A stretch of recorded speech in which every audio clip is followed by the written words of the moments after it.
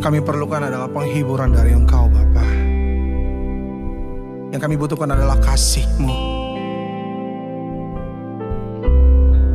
Kasih-Mu menutupi segala ketakutan dalam kehidupan kami. Dan kasih-Mu yang memampukan kami untuk dapat bersyukur setiap saat. Oh,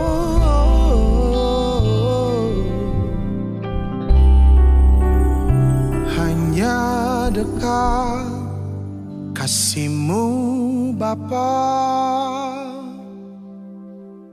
Jiwaku pun tentram Engkau menerimaku.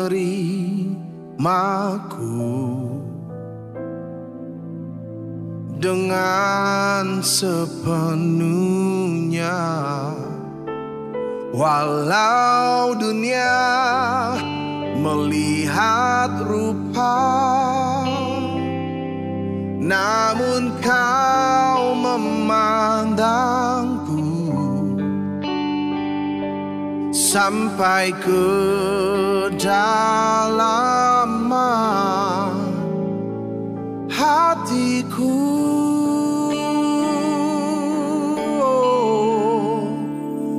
Tuhan inilah yang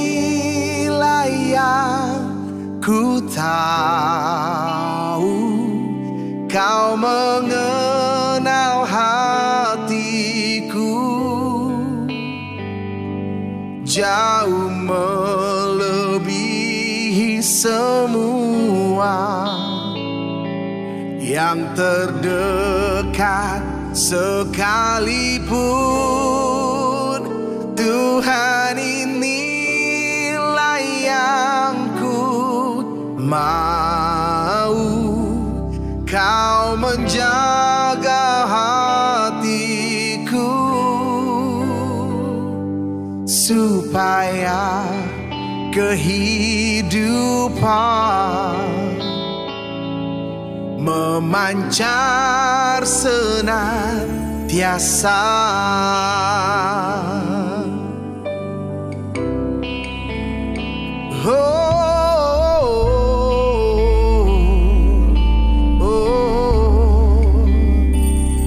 memancar senantiasa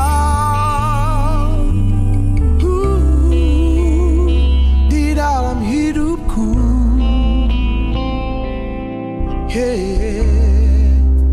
Hanya dekat kasihmu Bapa jiwaku pun tentram Engkau menerimaku.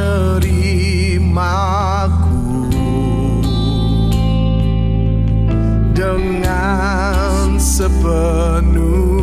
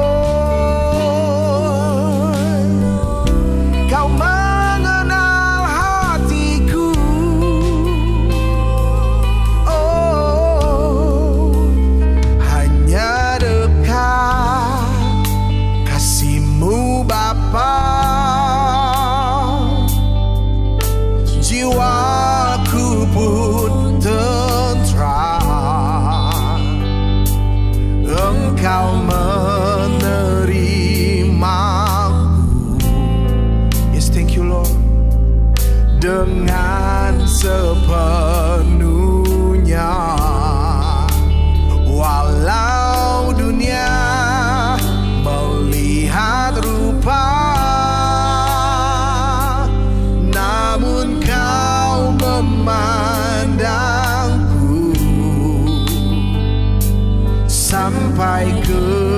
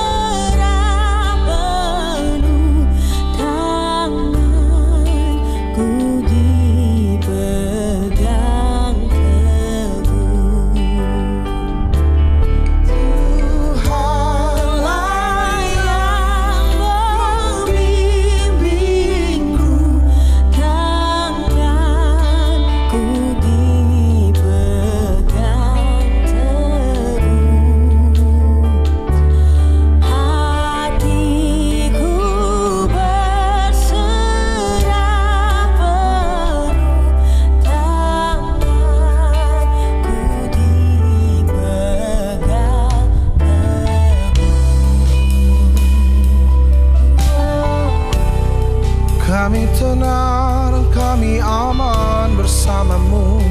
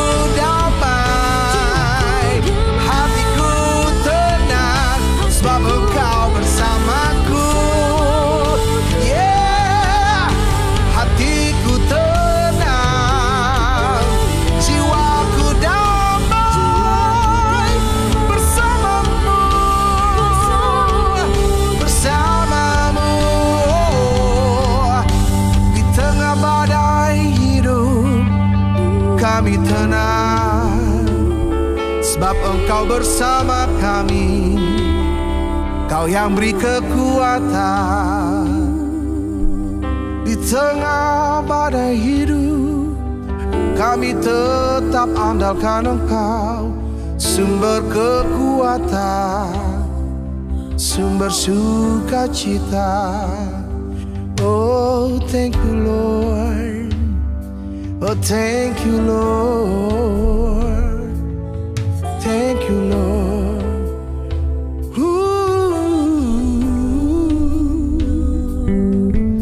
Kami mau bersyukur dalam segala hal. Ini menjadi akses iman kami untuk menerima kasih karuniamu Bapa. Kami mau bersyukur dalam segala hal. Karena bersyukur memampukan kami untuk melihat kebaikan demi kebaikanmu terjadi dalam hidup kami. Thank you Lord. Sumber penghiburan hanya engkau Ajar kami mengerti setiap rencanamu. Ajar kami memahami setiap maumu. Oh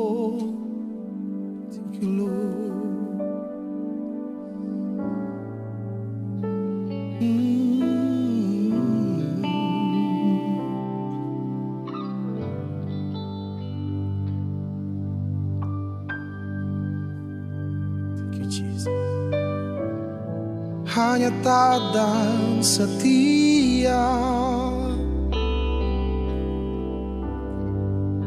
Ajar ku mengerti Segala rencanamu. Ajar ku berserah hanya padamu. Pimpinlah jalanku Dalam terang firmanmu. Ajarku berharap hanya padamu.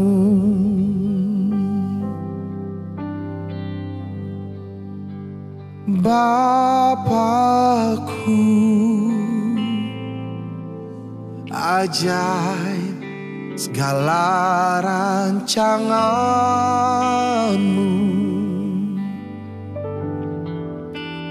Tuhanku heran perbuatanmu. Oh, Engkau sanggup mengadakan segala yang ku perlukan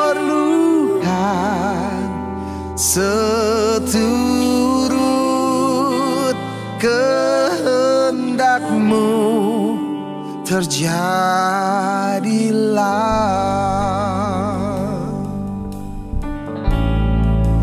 Oh sesuai kehendakmu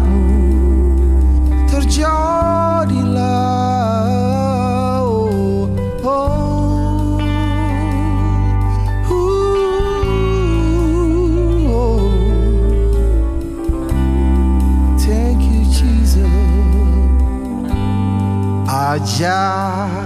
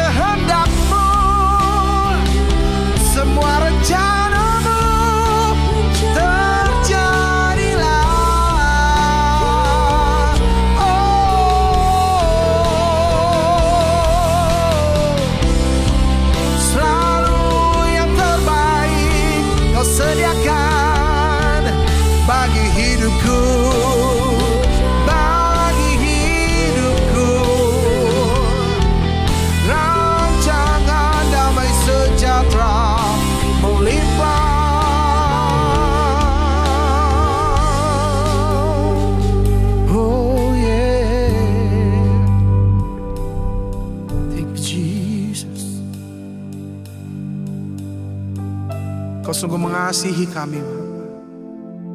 Kau sungguh mengasihi dunia ini.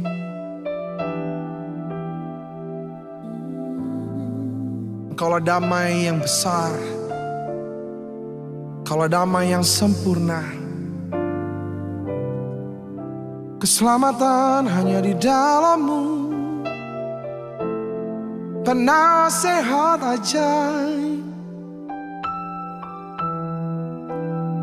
Oh, oh. Sungguh kau Bapa yang kekal. Lord. Penasehat ajaib. Allah yang perkasa. Bapa yang kekal Raja damai. Oh Sambutlah dia. Yesus Tuhan Oh Juru selamat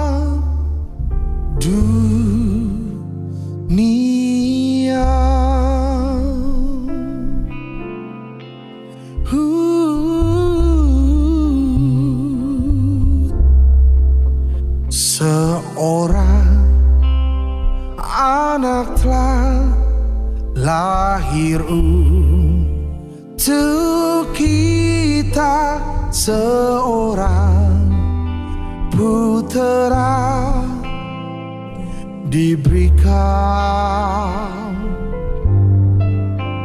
lambang pemerintahan di atas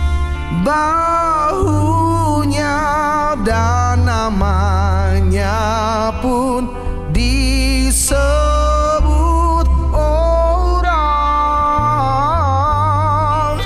Penasehat ajaib. Allah yang perkasa. Bapa yang kekal Raja damai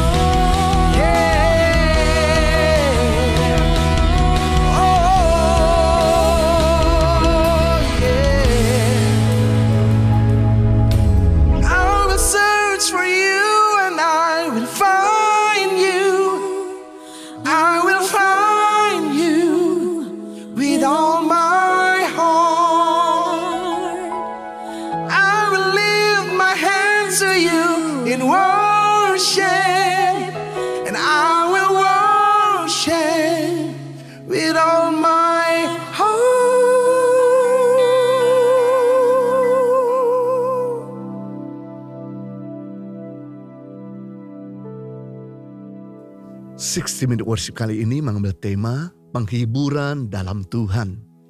Penghibur artinya yang menguatkan, yang menemani, yang mengembirakan, bahkan mengobati.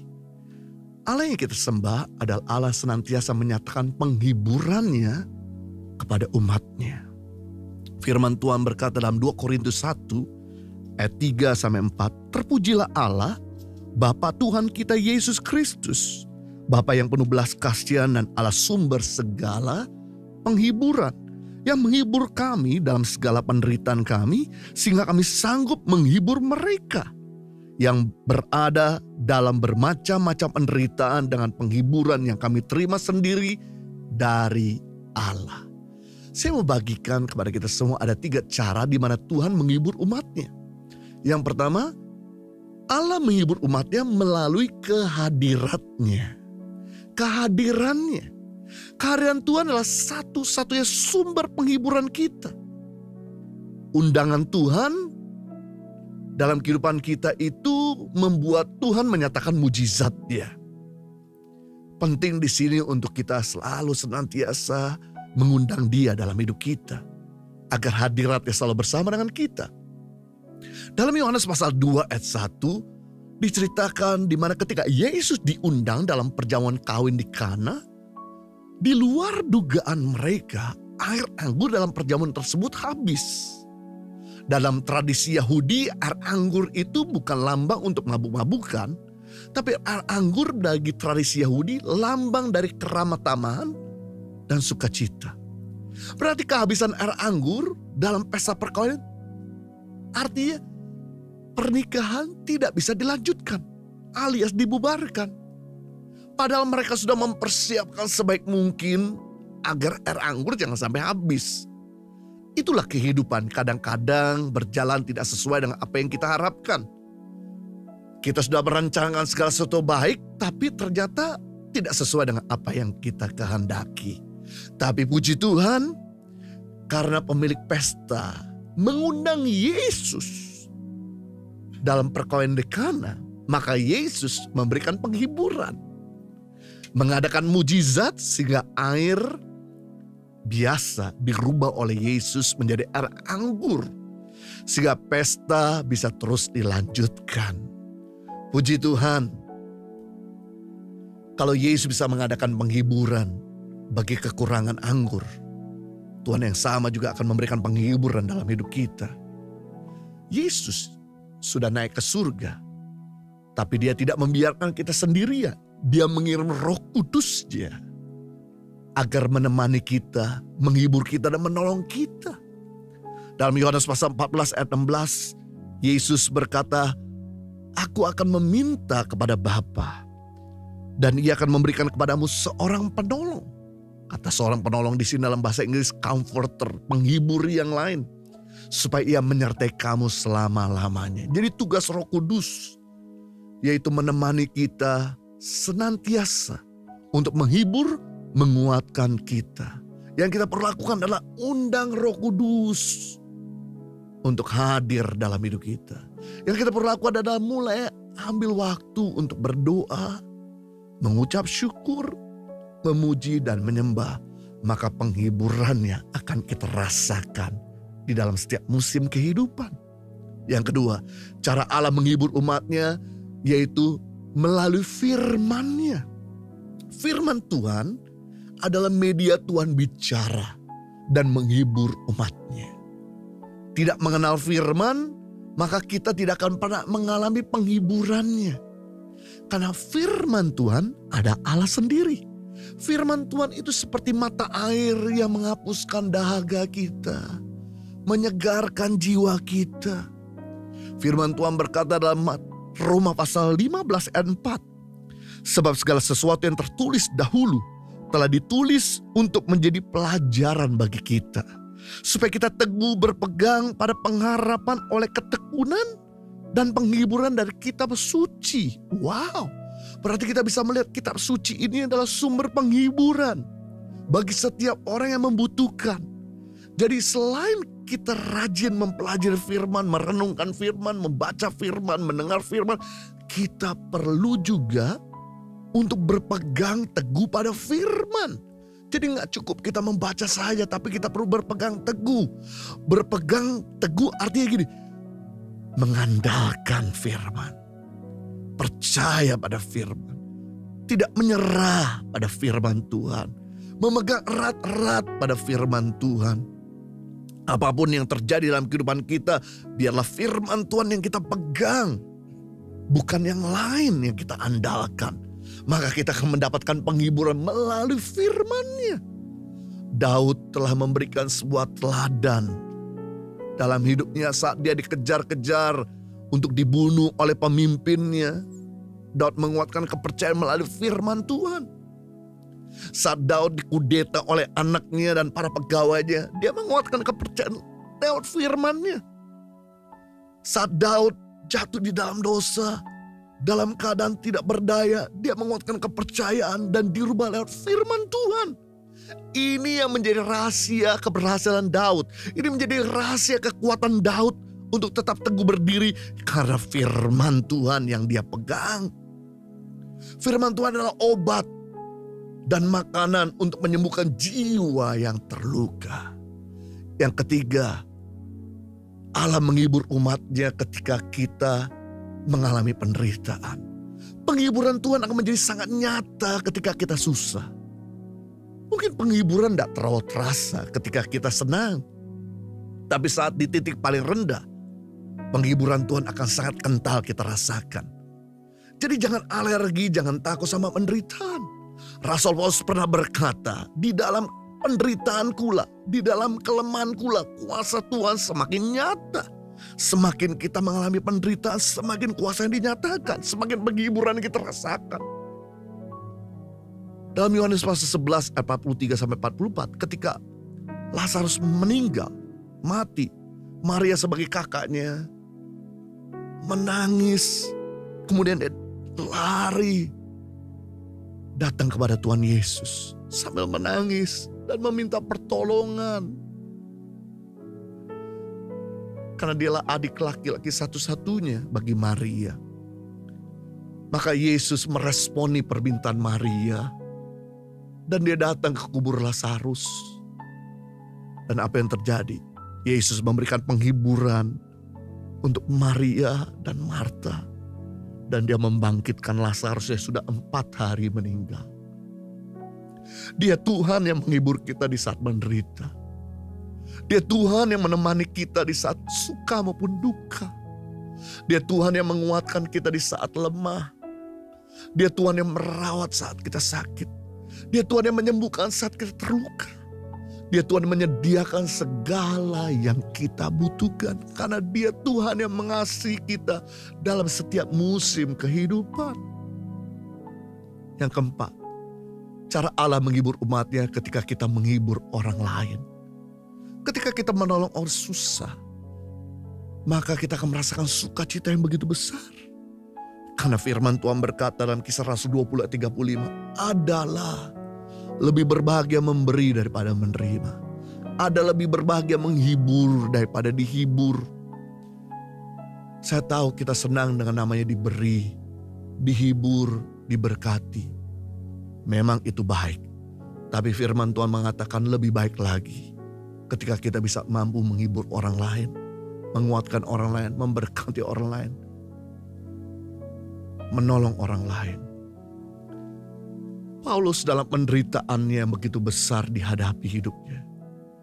Dia tetap sanggup menguatkan orang-orang dan jemaat yang ada di Asia kecil, Turki dan di Eropa. Inilah yang membuat penghiburan bagi Paulus untuk tetap teguh berdiri di saat dia lemah. Ini menginspirasi kita bahwa ternyata kekurangan bukan merupakan penghalang untuk kita menolong orang lain. Masalah bukan merupakan penghalang untuk kita menghibur orang lain. Meskipun kita mengalami masalah besar, masalah banyak, kita tetap bisa menolong orang lain. Meskipun kita dalam keadaan berkekurangan, kita masih punya kapasitas memberkati orang lain. Sebab dengan kita memberkati orang lain, maka kita bukan cuma sekedar dikuatkan, dihibur, mengalami sukacita. Tapi kita akan mengalami sukacita lebih besar.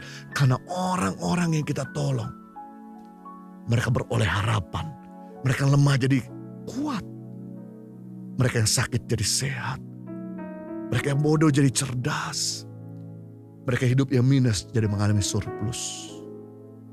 Itu sebabnya dalam 2 Korintus 1 ayat 4 yang menghibur kami dalam segala penderitaan kami, kata Paulus. Sehingga kami sanggup menghibur mereka yang berada dalam bermacam-macam penderitaan dengan menghibur yang kami terima dari Tuhan. Jadi kalau Anda sudah menerima penghiburan dari Tuhan, jangan berhenti.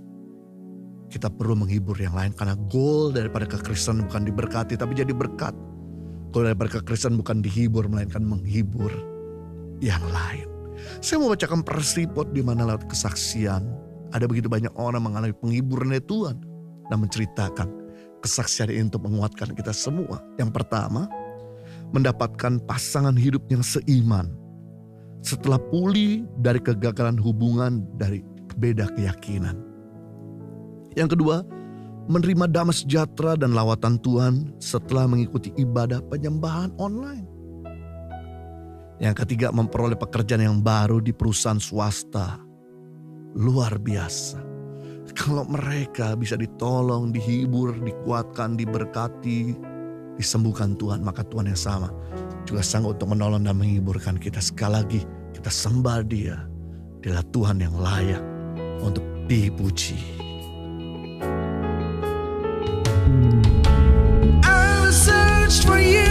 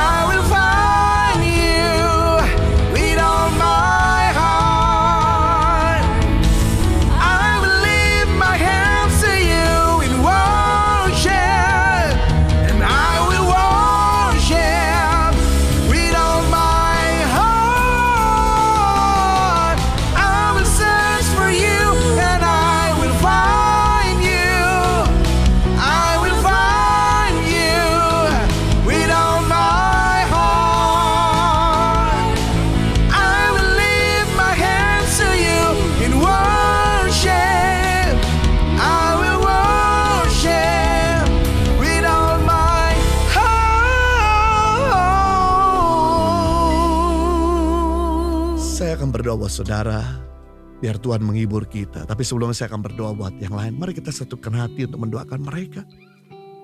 Bapa di surga, saat ini kami bersatu hati bersama-sama dengan umatmu secara online. Bagi kesembuhan dari penyakit skizofrenia, amandel, dan benjolan di leher. Sembuhkan. Kami juga berdoa buat kerinduan memperoleh keturunan dan kelancaran program inseminasi dalam nama Yesus. Demi ilahi terjadi, ketemu dan membuahkan hasil keturunan ilahi. Kami juga berdoa kelepasan dari keterikatan hutang kepada rentenir. Bebaskan, lepaskan, berikan kemampuan untuk membayarnya. Kami juga berdoa pemulihan dan kesembuhan batin pasca berpulangnya anak hiburkan, kuatkan, tolong dan berikan yang terbaik. Kami juga berdoa kelancaran dan keberhasilan mengikuti tes wawancara program beasiswa kuliah di luar negeri. Demi nama Yesus, penghiburanmu tidak pernah terlambat, selalu buka jalan saat dia ada jalan. Bapa di surga saat ini hamba berdoa buat umatmu yang sedang mengalami kesesakan, berbagai macam penderitaan, sakit penyakit. Engkaulah Tuhan yang sanggup menghibur. Biarlah pada saat ini juga umatmu yang sedang sakit mengalami penghiburan karena Tuhan menjama sakit penyakit mereka menjadi tahir, menjadi sembuh, menjadi sehat. Kau melihat setiap penderitaan mereka. Arahkan tanganmu Roh Kudus yang bersama dengan kami saat ini bekerja untuk melakukan operasi sehingga sel-sel yang telah rusak diganti dengan sel-sel yang baru. Sehingga tubuh mereka bisa kembali sehat. Sakit penyakit mereka tidak lagi berkuasa. Di dalam nama Yesus, terimalah penghiburan Tuhan dalam nama Yesus bagi saudara yang sedang saat ini membutuhkan pertolongan, jawaban, bahkan berkat secara finansial. Mari Tuhan, Engkau nggak pernah membiarkan orang benar itu ditinggalkan dan anak cucu yang meminta-minta. Engkau memelihara bangsa Israel di padang gurun dengan kebutuhan-kebutuhan mereka, baik pakaian, makanan, tempat tinggal, bahkan perhiasan sekalipun. Hal yang sama, mereka ada di padang gurun, tapi Tuhan boleh menyediakan segala yang mereka perlukan dan butuhkan. Sehingga mereka nggak perlu minjam-minjam, tapi justru mereka meminjami. Berkatmu mengalir bagi umatmu. Terimalah mujizat finansial, terimalah mujizat penyediaan, terimalah mujizat berkat, terimalah penghiburannya. Demi nama Yesus. Bagi umatmu yang saat ini sedang terluka karena kekecewaan, karena dikecewakan. Hari ini juga penghiburanmu boleh memberikan hati yang baru. Sehingga memampukan umatmu untuk mengampuni, memberkati, mengasihi, menghibur sekalipun yang melukai, mengecewakan dan menghancurkan hidupnya, sekalipun meninggalkan hidupnya. Hari ini juga Roh Kudus yang menemani, Roh Kudus yang mengangkat, Roh Kudus yang membuka, Roh Kudus yang memulihkan segala yang hancur menjadi utuh kembali. Yang hilang mereka boleh terima kembali. Yang pergi Tuhan boleh gantikan di dalam nama Yesus. Dalam nama Yesus. Segala keperluan mereka, kebutuhan mereka, engkau lihat. Berkati demi nama Yesus. Mari kita dua tangan kita untuk menerima berkat daripada Tuhan. Dan pandanglah wajah Bapa di surga yang selalu memberikan penghiburan. Kiranya Tuhan memberkati engkau berlimpah-limpah memperluas darahmu ke kanan ke kiri, mengangkat karirmu tinggi-tinggi, mau setiap usahamu berhasil, studimu tidak ada yang gagal, perencanaanmu disertai Tuhan, sekaligus memasuki di tahun yang baru. Dan kiranya Tuhan melindungi kau segala malapetaka, sakit penyakit dan mara bahaya. Sepanjang tahun yang baru pun, engkau boleh merasakan penghiburan penyertaan Tuhan yang semakin kental. Dan kiranya Tuhan menyertai engkau dengan berkat yang tidak terduga-duga. Sehingga apa yang kau nggak pernah lihat, nggak pernah timbul dalam hati, nggak pernah kau pikirkan dan dengar, itu semua tersedia bagimu. Bahkan berkat dari utara, timur, selatan, dan barat dicurahkan berlimpah-limpah dalam hidupmu. Hamba memateraikan dengan firman kasih karuniamu Tuhan. Demi nama Yesus, kita semua sudah diberkati. Sama-sama katakan, Amin. Terima kasih sudah mengikuti 60 Minute Worship penghiburan dalam Tuhan. Ikuti 60 Minute Worship berikutnya di waktu dan jam yang sama. Tuhan Yesus mengasihi kita.